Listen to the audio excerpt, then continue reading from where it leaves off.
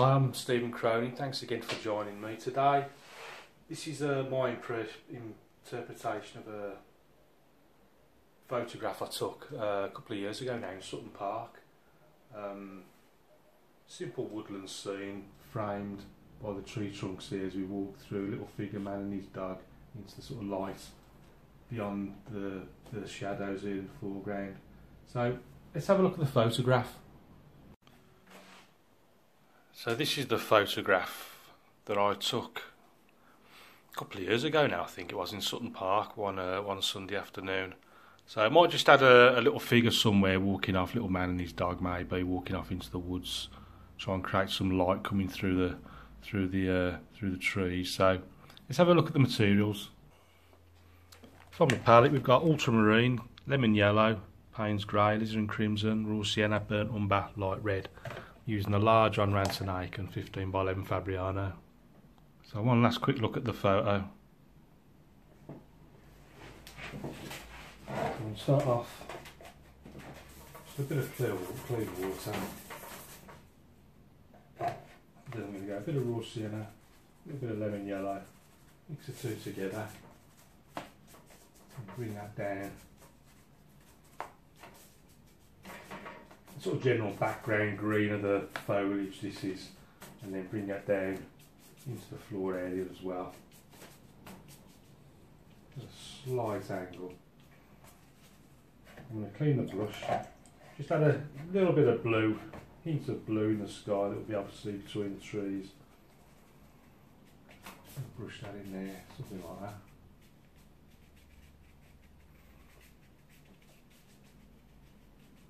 Just catching it as it's falling down. That's coming down there. In fact, what I want to do, just get a bit more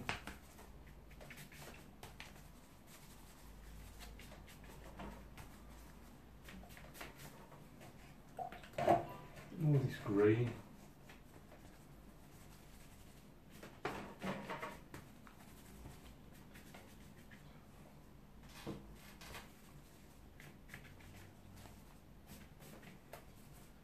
More blue there. Payne's grey there as well for those darker, darker areas. Don't want to do the floor too dark because I want the shadows to, to show up well. That's a nice little background. Now I'm going to take the rigger brush I'm just going to pop in a whole load of little trees and trunks that's growing. I'm going to dry some of that before it comes down too much.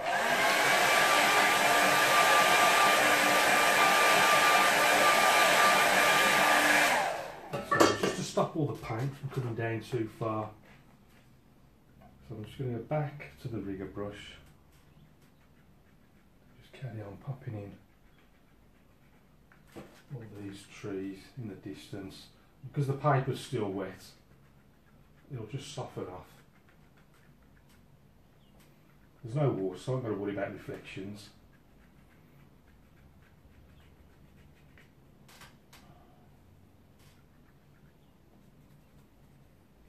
Reload the brush a little bit more. I'm just flicking up and down with the number three rigger brush this one is. These will be the most distance of the of the trunks. Just soaking up the water that's poured in the bottom of the paper. Let's clean that brush a little bit. Just going back in a bit of lemon yellow, a bit of sienna. And what I'm doing, I'm just working out the land. Rather than just go straight across like that, I'm just, just trying to get more random effects out. I'm just dab, dab, dab, dab, dab, dab. And the land is just slightly sloping from right to left.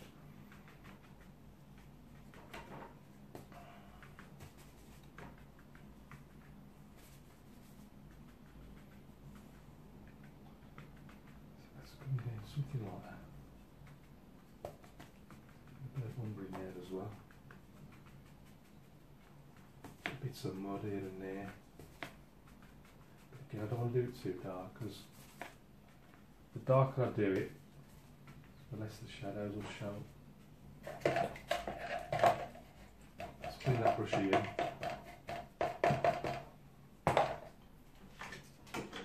Get this paper flat against the board and then I'm going to put a few more, go back to the rigger brush and put a few more trunks in.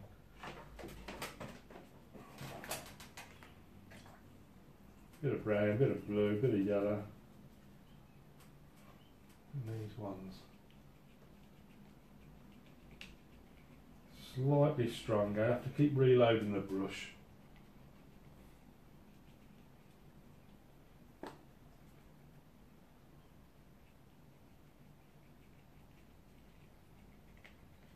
Sometimes I'm sort of stopping halfway through as I'm flicking it up rather than just doing it in one go, just to get sort of random shapes and patterns and things.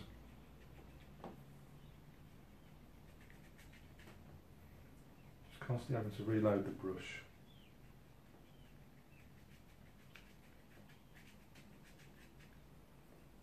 Brown, blue, a little bit of green in there as well.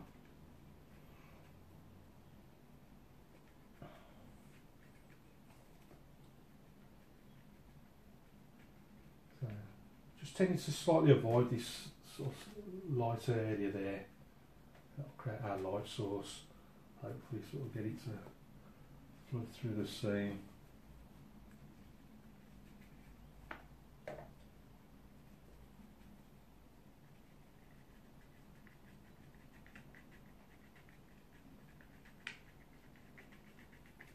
So you can see this is going on sort of thicker and thicker. The more distant ones sort of help them create this sort of 3D effect.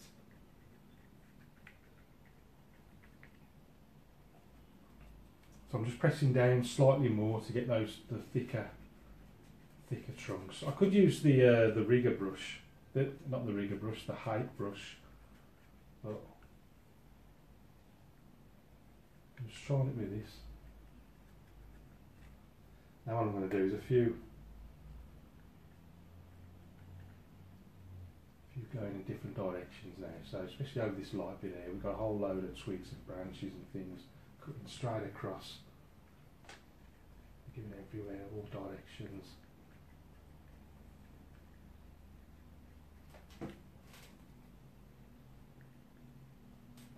A little bit of water, just as an experiment, I'm just going to try something. I'm just going to fix the water at it, see what happens. Just little daps of water everywhere.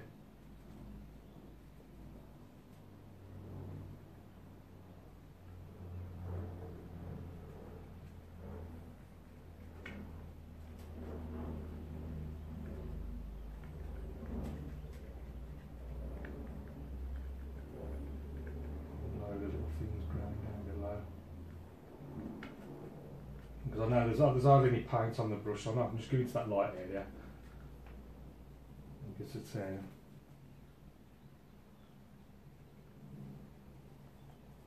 brown, bit of blue. I think I'm just ready now to go at it with the hake brush now. Get some really strong trees in there in the foreground.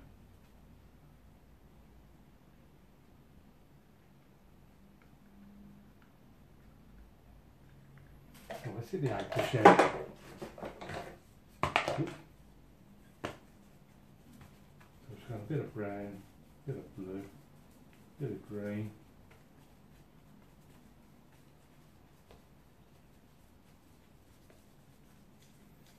And we've especially got some uh, some big trunks. Yes, needs to be a little bit darker, just so it stands out more.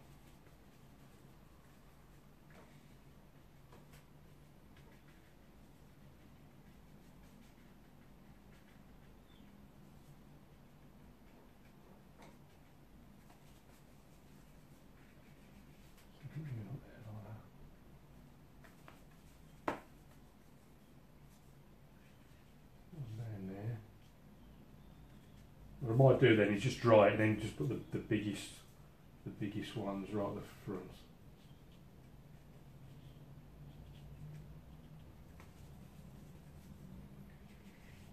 Ones. Yeah, just put a few limbs on those, a bit of brown again.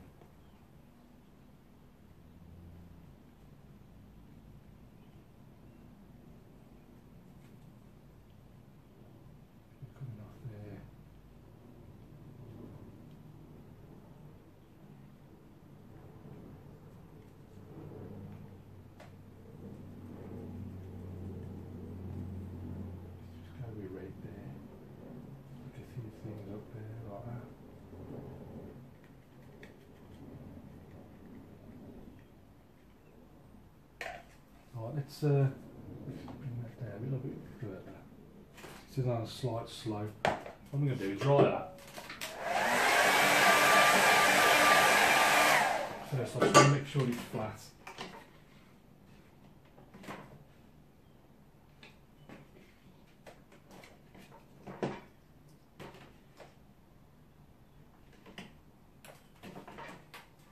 Quick dry.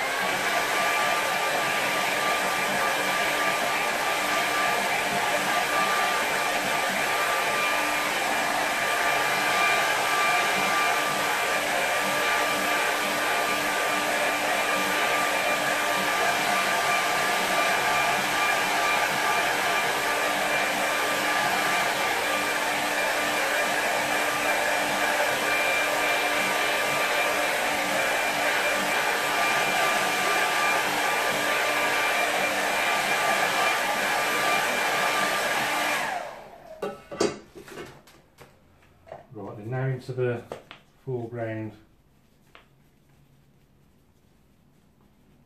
Brown, blue. Strongest mix I've done yet.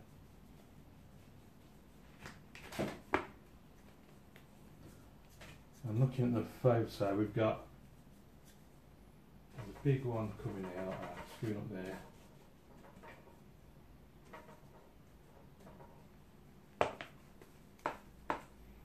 So the one sort of off in that direction.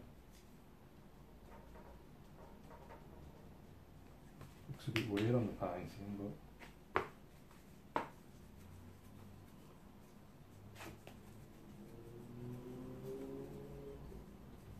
I'm just going to stick put back up there I think. Just, just change it slightly from the from the um from the photograph.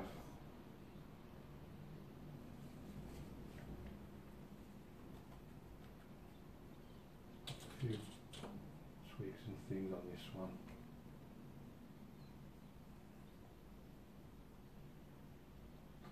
A few more on this side.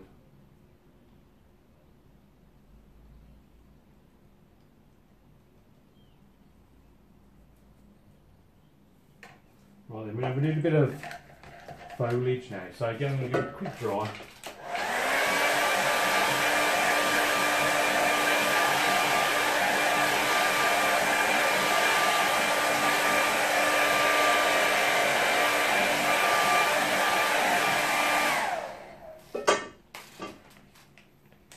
I'm going to clean the uh, clean the egg brush.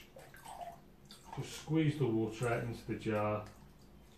And then I'm to dry it on the tea towel, scuff the ears up at the same time so they're going all over the place.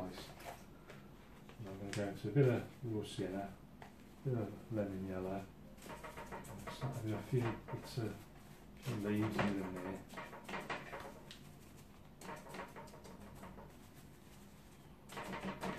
Just get variation, I'm just going lemon yellow and then raw sienna, then lemon yellow again.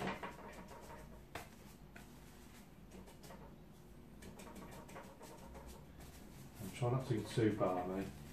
I don't paint everywhere. This time I'm going to ultramarine. This time just to darken it up. It's a little bit darker now. Some of the foliage around here. It's into the, Payne's. And obviously on this left hand side we've got this bushy thing.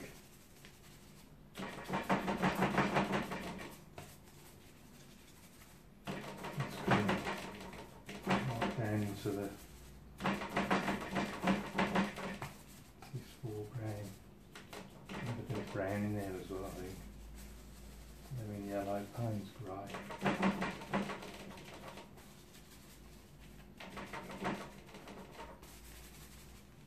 Just cutting in front of these big tree trunks there.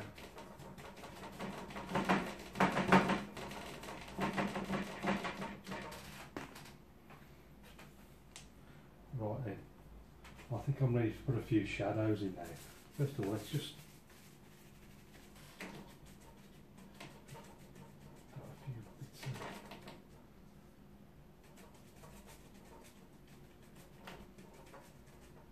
ground some of these trees.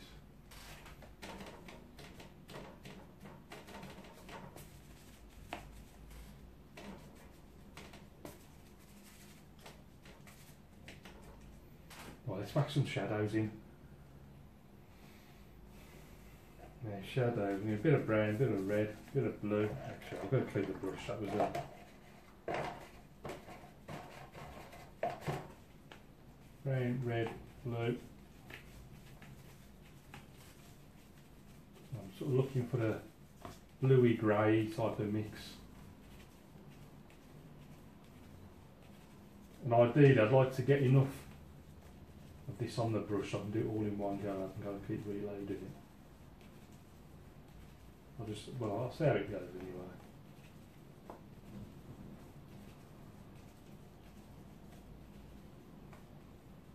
So that should do that. Um, I'm thinking the shadows, I think the natural, I'm, I'm not sort of coming, let's cut them straight across, so they're sort of going in this direction like that, something like that. So we've got something right out of there, cutting straight across there.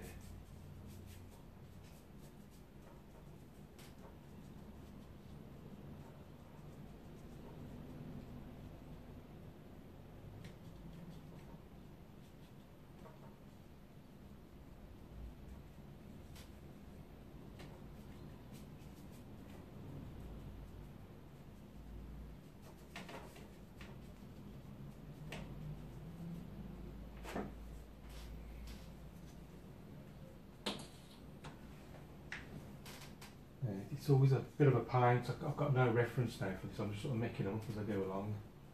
Um, I had a bit of shadow as well.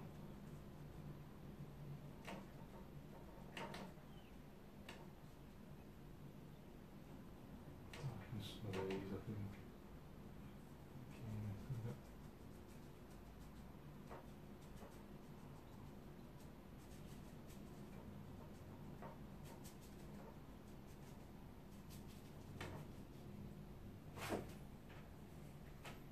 I think enough shadow now, I think. I think I'll stop. Up there. Looks the trees. I think I'm going to stop now with the shadows.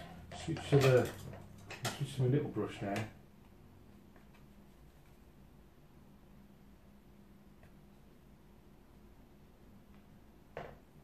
Up there.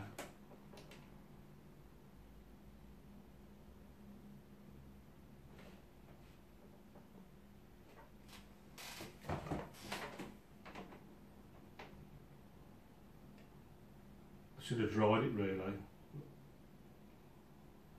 makes it a bit more difficult sometimes.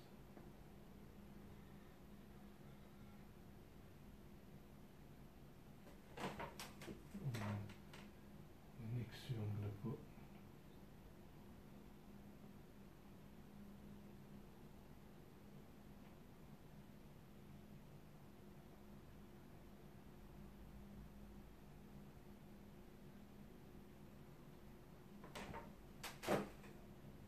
little dog.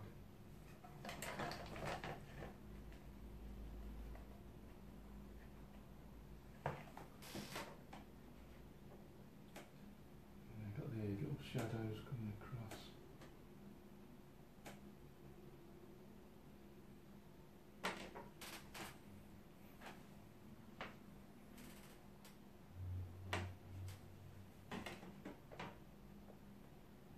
Little bird up there. I think I'm going to call that one done, I think.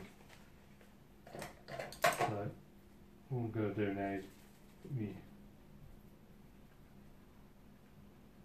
put my name in the corner.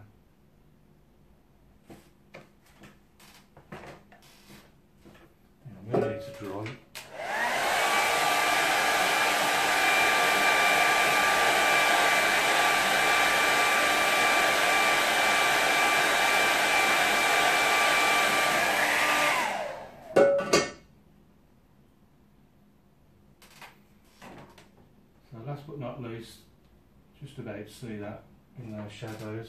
So let's uh, pop a mount on that, see what it looks like. So here's the finished painting in the mains. If you could have a closer look at it. See just a little bit of ultramarine in the background just for the uh, the blue of the sky that we can see through the trees. If we take a look at the original, you see I've tried to jazz it up a little bit. Moved one or two of the tr trunks around just to suit the uh, um, the, the composition a little bit more artistic license. So when you look at it, you see a whole mass of trees and trunks and things. You think, where on earth do I start with all this? But I always start with these distant trees. So just go in with number three rigger and just keep brushing up and down, up and down, just to create these distant trunks en masse. And because the paper's wet at the time, they just fade off into the distance. So by the time you come to do these ones a little bit closer to the foregrounds, especially the big foreground ones, the paper's starting to dry and you can see the difference between the, the sort of really dark toned ones and then the really distant ones put in while the paper was still wet. Gives you that three dimensional look, create, you know, helps create depth to the scene. One thing I was eager to do, I wanted to keep the the ground area as much vari colour variation, but keep it light in tone. Just so all these shadows would look more dramatic. If, these, if I'd done these yellowy bits darker, it wouldn't have shown up as well.